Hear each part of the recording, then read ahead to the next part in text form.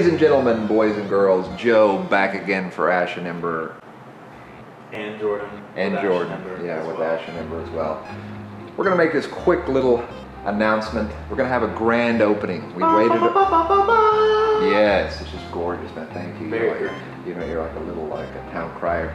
Uh, we're gonna do this grand opening, uh, and it's taken a while for us to do a grand opening because we wanted to wait on a few things. The number one thing, we're gonna put in a, a big humidor here, uh, and we're gonna stock it with like thousands of cigars.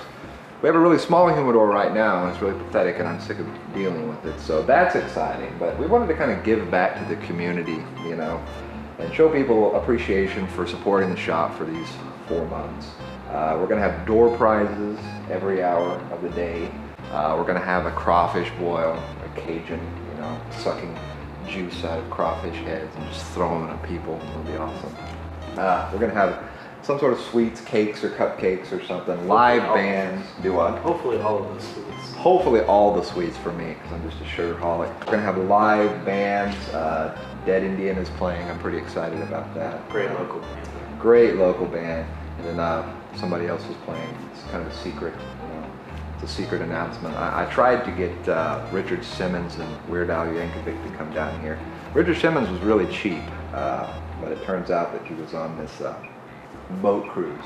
Uh, he couldn't make it, uh, and uh, Weird Al's way way above our price range.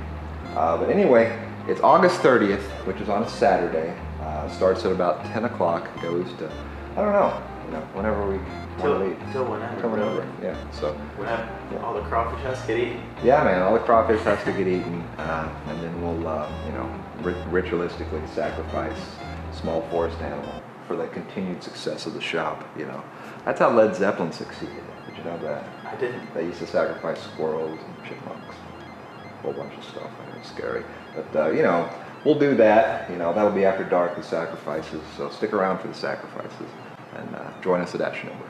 Thanks, guys. Thanks.